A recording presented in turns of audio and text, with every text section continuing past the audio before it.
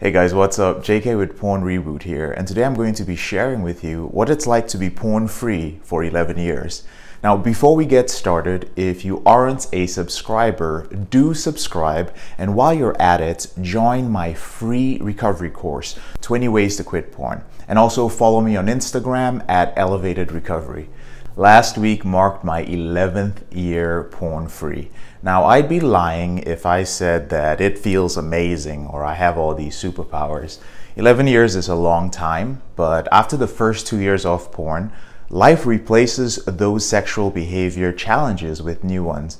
And at the end of the day, the truth is, I'm just a normal guy with regular issues like everyone else. I'm grateful to be porn free, um, but I'm not blessed with any porn free superpowers or anything extraordinary.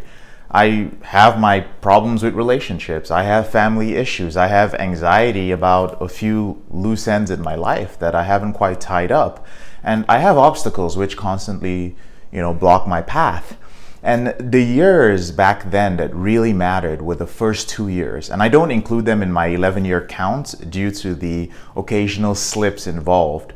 But my experiences during those years are most likely similar to what you might be going through now if you're watching this video. Now, once you hit the two year point, you'll be free to be whatever you were meant to be before your sexual behavior held you back. And that feels really good. It's kind of like releasing the handbrakes on your car on the highway, you know, after finding out that it's been it's been on for miles. Now, uh, since 2012, I've coached men from a variety of backgrounds to full recovery from their behavior with porn, sex, and masturbation. And after working with my first few hundred men, I realized that there are really just four things that we need to get right to make it to that two year marker. And today I want to share those things with you. So, the first one is understanding your pain and finding your painkiller. So ask yourself a few questions. And the first question would be What is the single biggest pain that you are medicating with porn, sex, or masturbation? Um, is there a strong emotion like anxiety or anger or fear or sadness? Or is it constantly being under stress? Or do you have some unresolved issue from the past? Let's say sexual abuse, a bad rejection, divorce, maybe a mental health diagnosis. Is it loneliness? What is it? Identify which of the four it is and eliminate that pain by either attacking it at the root or developing skills to manage it.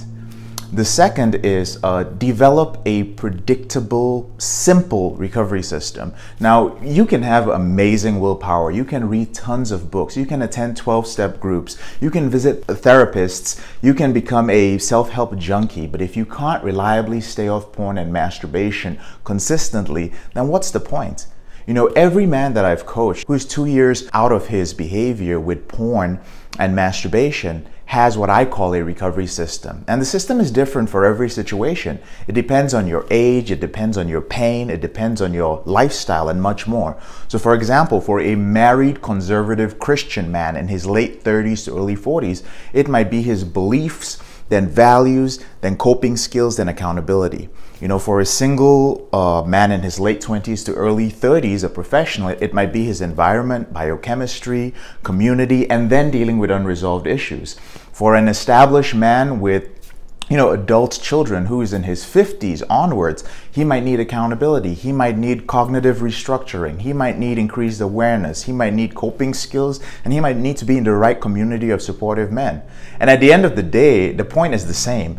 You kind of need to architect a system that works for you. So predictably controlling your behavior, that's what it needs to do day in, day out. And right now, you may already be using a system that's a good fit for someone else, but not for you. The third is use leverage to reduce the effort of recovery. Now, I don't know about you, okay, but I'm not a fan of worrying about my recovery every waking moment, you know, beating myself up about relapses and using these incredible feats of willpower to control my urges. Now, don't get me wrong. During my recovery, I used willpower to stop myself from objectifying, you know, every woman I saw and from watching porn and masturbating at almost every free moment that I had. I realized that it eventually became exhausting the moment I tried my, uh, the moment my willpower weakened. You know, when I got tired or frustrated or when I was drinking, you know, and that would lead to this massive relapse. So the trick is to understand the moments when you are most vulnerable to relapse and what puts you most at risk. You know, and then you create boundaries around these things. And that makes the recovery process less tedious. Now, the most common way to gain leverage in recovery is to start slowly introducing accountability, boundaries, and coping skills into your life. So, for instance, an accountability partner can check in with you at your most vulnerable times and they can hold on to the password for, let's say, the App Store. Uh, filtering and accountability software can be a failsafe and it buys you time when you're triggered to act out on your urges. Um, and as you begin to feel confident with these basic boundaries and coping skills, and your behavior uh, and you can you know better control your behavior you continue to introduce boundaries you continue to introduce more coping skills and uh, accountability at a greater level into your lifestyle. And what happens is within a few short months you have almost nothing external to trigger you and you've built a solid accountability habit solid coping skills when you do this you start gaining clarity in your life you start to see new opportunities for self improvement. You begin to reach out to therapists, to coach. Um, you begin to find these resources which, which can help strengthen areas of your life which were weakened during your addiction. And then your recovery speeds up. Your brain rewires faster while your urges to watch porn and masturbate continue to drop month by month. And these are the things that are happening in those first two years. Um, the fourth is surround yourself with people who have seen this movie before. And here's what I mean. Um, back in 2006, I was trying to get past 16 months of no porn, but it just wasn't happening no matter what I did. And then I got my first coach. For the next year and a half, that's about 18 months, I didn't watch porn or masturbate. And by the 19th month, I had an active dating life. I had no more PIED. I didn't have any anxiety. So when I found out what worked, you know, I doubled down on that and I went for the best coaches I could find. So I hired three coaches. I hired coaches for recovery, I hired coaches for relationship, and one for my career. And while my friends, my peers were getting student loans, I was getting loans to invest in myself. And then you fast forward a few short years later, and not only was I 100% free of all my out of control sexual behavior, I was in my dream relationship, I was debt free, I was making over six figures a year, and I was in my mid 20s. I was transformed as a man and as a human being, and it was incredible. And now, whenever I want to accelerate my progress in anything in life, especially with my mindset and especially with certain behaviors that I have, I always remind myself of this quote Two times thinking is what can I do?